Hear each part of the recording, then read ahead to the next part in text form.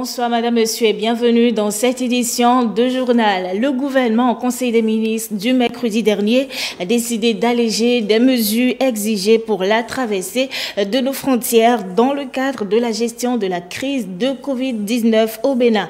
Et depuis hier, l'entrée sur le territoire, aussi bien par les frontières maritimes, terrestres et aériennes, est libre de présentation de tout document en rapport avec la Covid-19. Comment euh, les voyageurs apprécient la nouvelle mesure La réaction est à suivre dans cet élément que nous propose Mathieu Boko et Bonaventure à l'Oignon.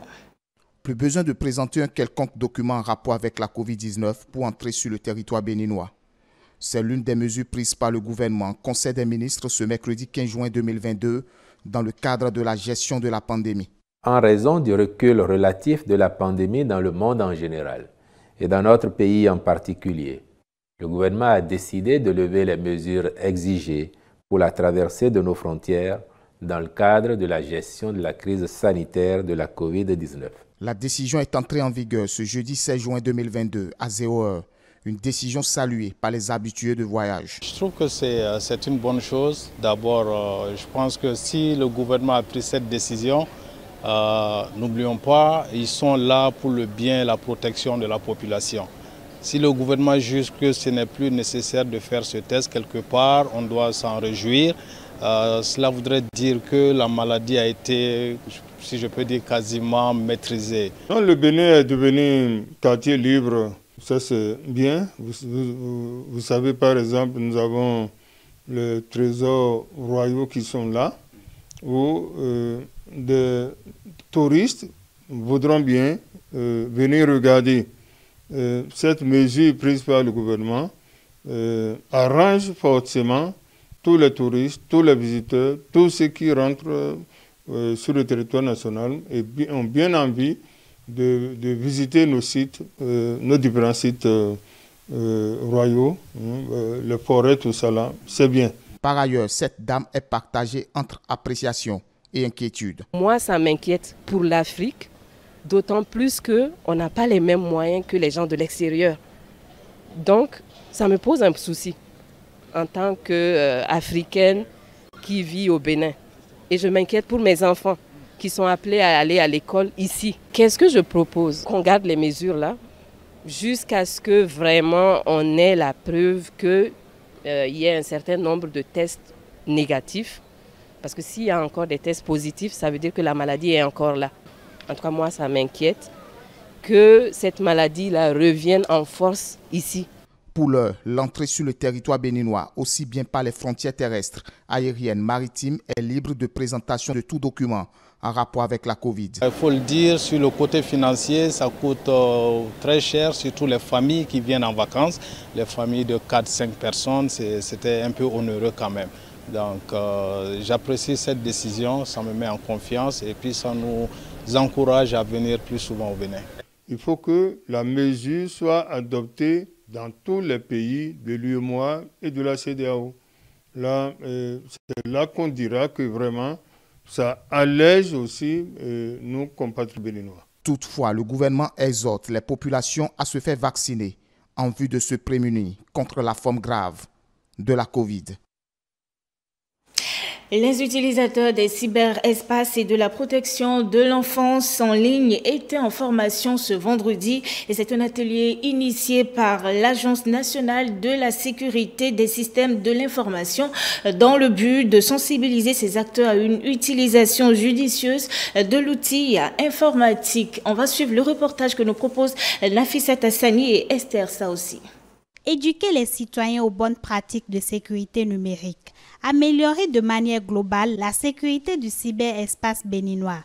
Tel est l'objectif de cette campagne de sensibilisation des utilisateurs du cyberespace et de la protection de l'enfance en ligne. À cette occasion, le directeur général de l'Agence nationale de la sécurité des systèmes d'information ANSI nous explique les efforts et ambitions du gouvernement dans ce domaine. En 2020, le gouvernement a adopté une stratégie nationale de sécurité numérique dans le but de créer un cyberespace sécurisé et attrayant pour une économie numérique florissante. L'objectif, c'est de protéger les ressources, les avoirs des entreprises, de l'État et l'identité numérique des citoyens dans ce cyberespace qui aujourd'hui est un espace à part entière comme l'espace aérien, l'espace routier et euh, tout ce que nous connaissons dans la vie, dans la vie en dur.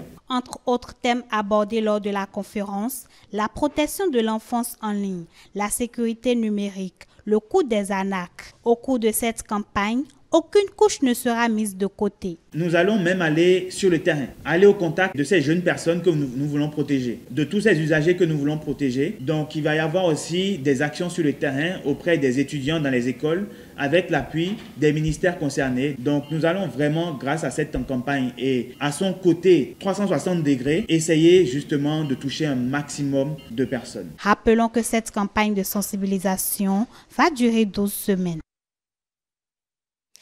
Les usagers de l'administration publique se sont pendant longtemps plaints de la lourdeur administrative. Autrefois, euh, pour entrer en possession d'une pièce, par exemple, c'est parfois un parcours de combattants.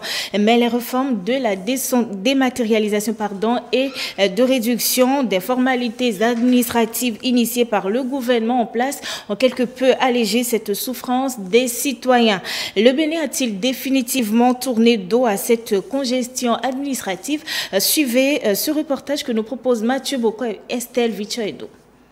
Jadis dans les administrations, Olympe peut attendre des jours et des semaines pour obtenir dans les meilleurs délais tout document ou papier administratif dont il avait besoin. Toutes les fois quand vous fréquentez soit les administrations publiques ou vous allez dans le privé, vous en êtes victime. C'est donc un parcours de combattant parfois estime-t-il pour entrer en possession d'une pièce pour la constitution d'un dossier. La lourdeur administrative, c'est le fait de ne pas rendre le service à temps, de ne pas traiter les dossiers à temps, à temps réel.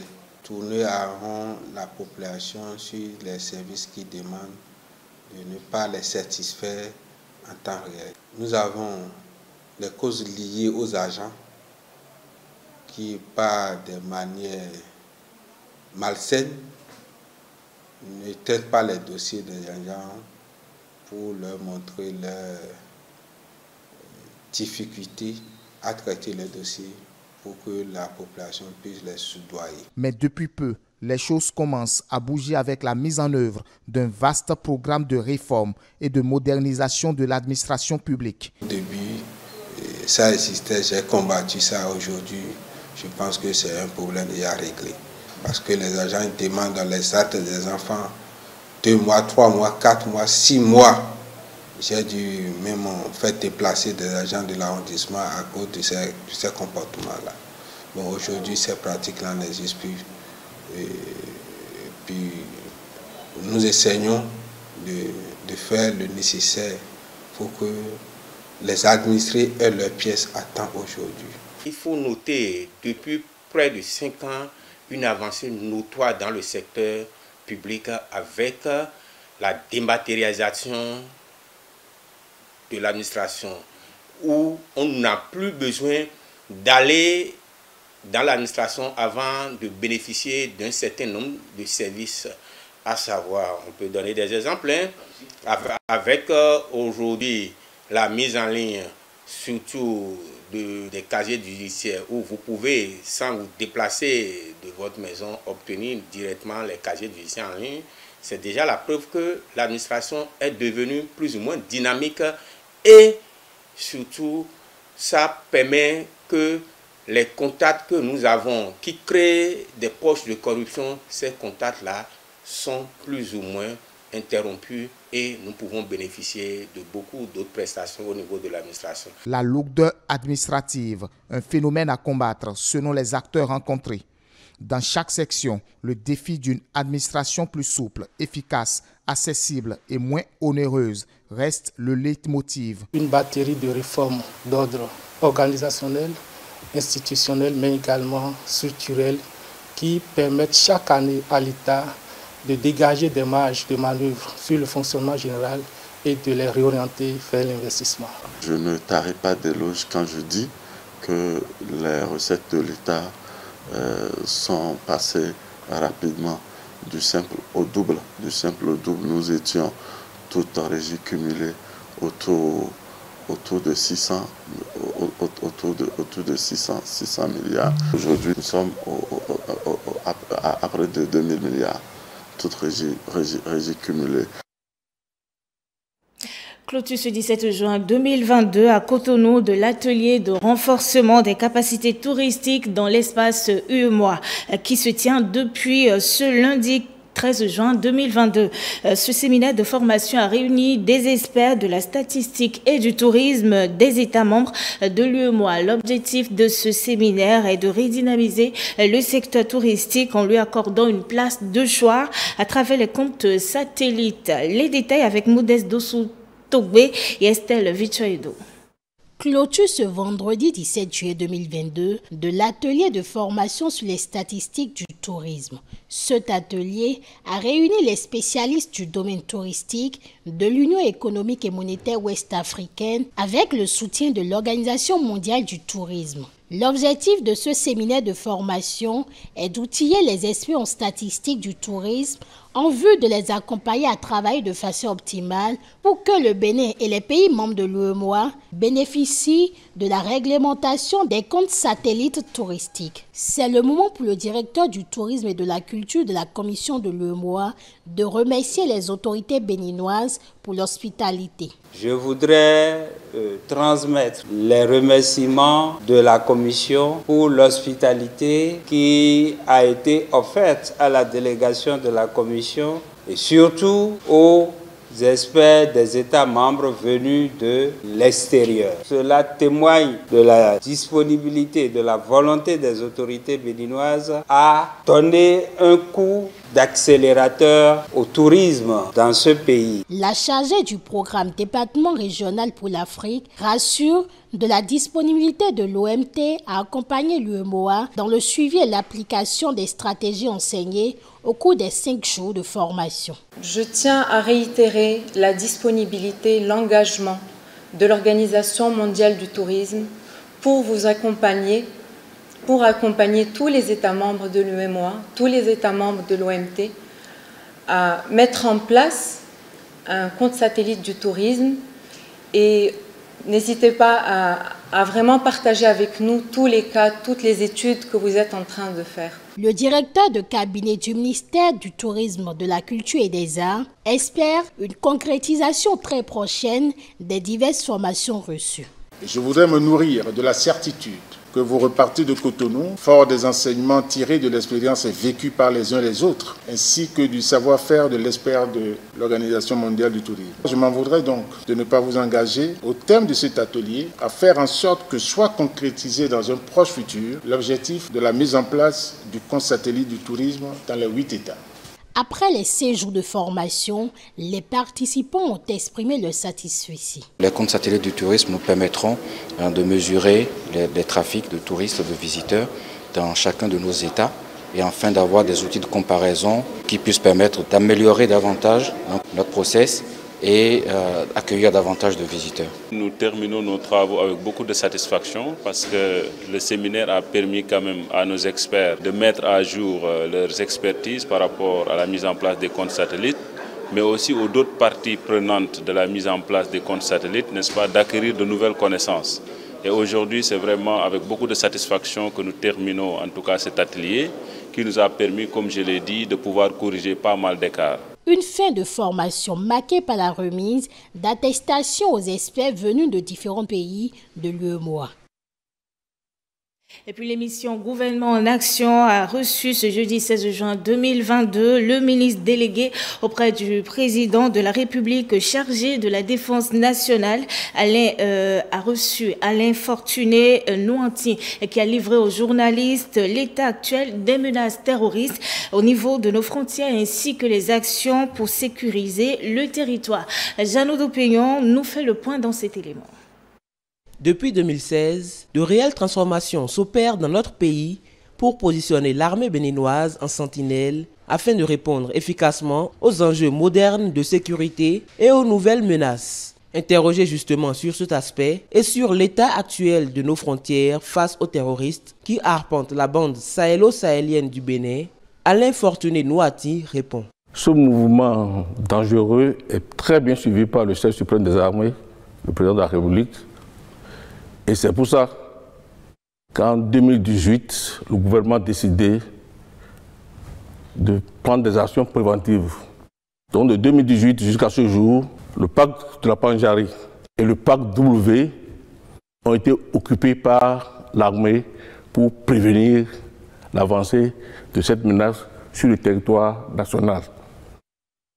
La résultante est que, à ce jour, on ne peut dénombrer aucun gîte de terroristes sur le territoire béninois. Cependant, des incursions sur le territoire restent largement possibles.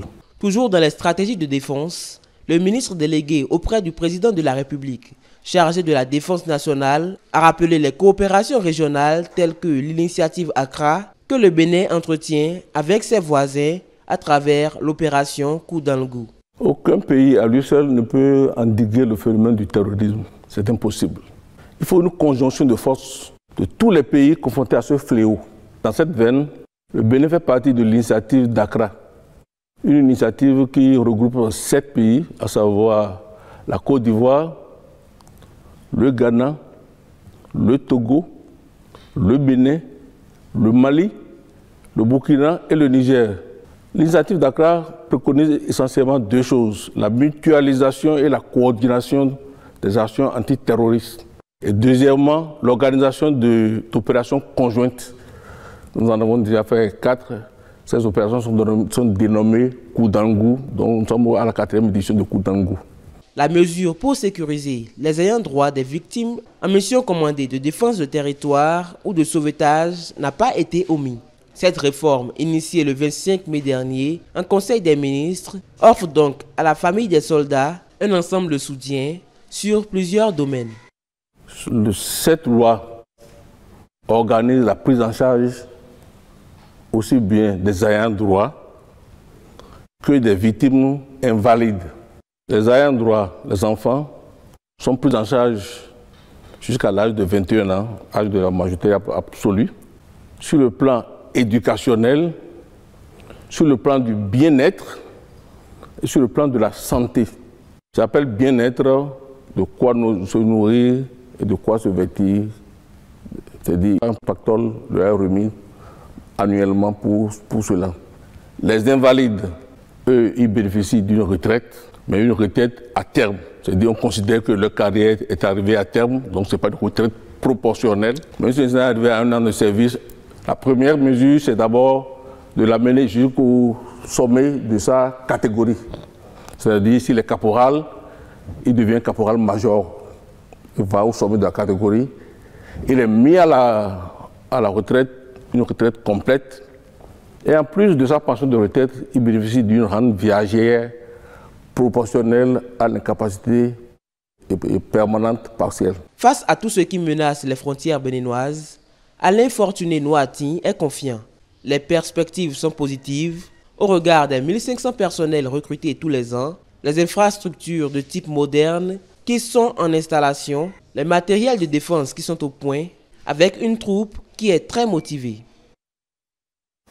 Et c'est déjà la fin du JT Soir de ce vendredi 17 juin 2022. Merci, madame, monsieur, de nous avoir suivis. Suivez-nous aussi sur Internet, le www.etélébenin.com, sur Facebook, eTélé en direct, sur notre compte Twitter, eTélélève, sur YouTube, eTélébénin. Suivez-nous également en direct via l'application iOS et Android, eTélébénin, tout simplement. Bon début de week-end à toutes et à tous.